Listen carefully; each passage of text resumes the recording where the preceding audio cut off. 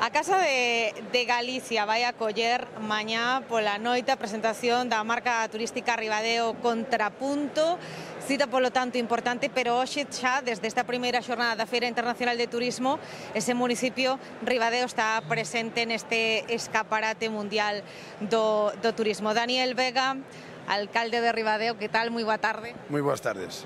Eh, preguntarei agora por esa presentación que terá lugar, como dicimos, eh, mañá, eh, pero antes, que ofrece Ribadeo como destino?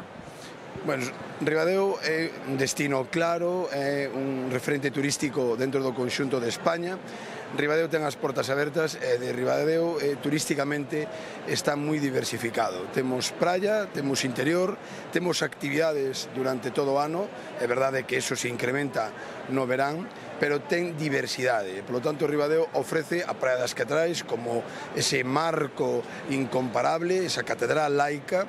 Tamén temos moita actividade dende esa organización, desa reivindicación como un evento Ribadeo indiano, é un referente xa nas eh, festividades eh, dentro das organizacións que temos no Concello de Ribadeo e dende logo Ribadeo ofrece gastronomía. Ribadeo ofrece tamén gastronomía diversa, interior eh, tamén temos ese prato máxico como é o percebe de Rinlo. Ribadeo en conxunto tamén ofrece digamos esas visitas guiadas a ese monumento, a ese museo aberto que é o noso eh, casco histórico. Por lo tanto, Ribadeo ofrece todo e Ribadeo ten programado todo para que todo mundo poida ir calquer día do ano. É un referente sen dúbida, non? Na súa comarca, pero máis alo de Galicia ademais tamén, se falamos de Asturias, de Cantabria, de toda esa zona norte, que momento atravesa? Eh, porque hai moito visitante, non? Que está descubrindo os encantos que, que ofrece a súa zona. Bueno, eu sempre digo que Ribadeo é esa capital galaico astur, é dicir, ese punto, ese punto de encontro para moitos galegos, para moitos asturianos, e Ribadeo, repito, ten as portas abertas, é ese pobo acolledor, e polo tanto temos que seguir loitando que Ribadeo sexa ese referente galaico astur, pero elevado a capital. Por qué? Porque temos como referente a un pobo de servicios, a un pobo emprendedor e a un pobo diversificada a súa economía. Turismo, sector servicios e así hai esa vida todo o ano. Eh, desde este punto de vista turístico, eh, que percorrido eh, lle queda o, o seu municipio? Que pasos teria que dar? Bueno, Ribadeo ahora mismo estamos nese punto que estamos con un éxito considerable, pero debemos facer unha reflexión. Por lo tanto, eu creo que é importante facer esa estrategia turística que é donde nos vai a marcar o que temos que facer nos próximos anos. Por lo tanto, xa temos eh, contratada esa estrategia turística e empezamos mm, dando ese impacto como é a marca turística que presentamos mañán na Casa de Galicia. Ribadeo contrapunto. Bueno, o Ribadeo eh, ten esa marca que lanza unha mensaxe clara. Eh, vamos guionizados? A resposta é que non. Ribadeu, levamos o noso ritmo dentro dun ritmo conxunto que é Galicia, que é España. Pero nosotros somos esa capital, ese punto de encontro, eh, Galaico Astur, eh, como ese povo aberto e ese povo que traza unha estrategia clara Dicir, no turismo temos que ter unha estrategia eh, clara, é dicir, a donde vamos, que éxitos tivemos e que debemos corrixir.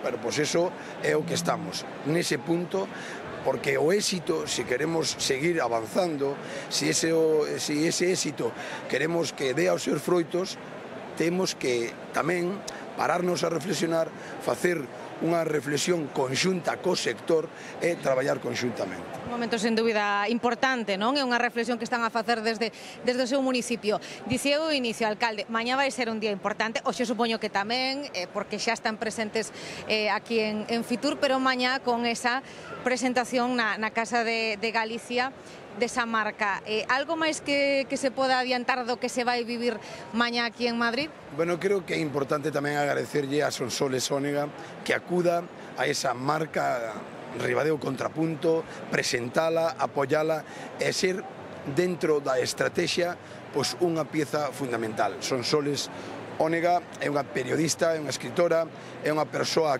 que ten unha capacidade de transmitir, de informar, e iso é o que necesitaba Ribadeo. Ese, refer, ese referente eh, e, polo tanto, nosotros agradecemos de todo o traballo que está facendo Sonsoles Ónega eh, que nos fixera caso, pero eu, eu non tiña ninguna duda. Desde que invita a Ribadeo, todo o mundo acude. E como invitou Ribadeo, como Ribadeo ten unhas posibilidades importantes turísticas, e tamén desde un punto de vista económico, ten unhas posibilidades moi grandes, todos debemos traballar na mesma línea dentro do sector, para o sector e cunha estrategia clara. Quería que desvelara o alcalde de, de Ribadeo o nome un pouco da madriña, maestra de ceremonias, non? Ou quen vai acompañar a esa comitiva local mañá nesa presentación, efectivamente a xornalista e escritora Sonsoles Onega que ten sempre presume, non? Ademais eh, desas raíces, efectivamente. Por que a escolleron a, a ela para unha presentación como a de mañá? Bueno, ela ven moito a Ribadeo, ela acude a Ribadeo, é verdad que de forma pois, pues, moi prudente, discreta, pero sabíamos que acudía a Ribadeo, eu. Tiña referencias deso, a min pareceme unha persoa que hoxe marca pois un impacto impresionante, unha información diaria e é unha referencia desde o mundo tamén intelectual, denda o, acaba de ser eh, premio, premio Planeta, bueno, cumple todo para ser esa madriña, ese, digamos, ese altavoz continuo de decir qué posibilidades temos en Ribadeo, que, que turismo temos en Ribadeo, que eh, conxunto de actividades temos en Ribadeo e dentro desa estrategia que estamos traballando e mellorando, pois son soles é unha pieza clave. Afondando un pouco no que nos contaba, eu escoitaba ya alcalde nestas últimas semanas dicir que Ribadeo algo así como que Ribadeo baila con ritmo propio, non? Que, que, que idea quería transmitir? No, Ribadeo baila a ritmo propio, ten un discurso propio, Ribadeo é un referente. Eh, dicío antes, Ribadeo ten esa melodía propia, pero dentro dun conxunto que é Galicia, que é España. Nosotros non queremos separar de nada, senón ser, ser o conxunto de todo.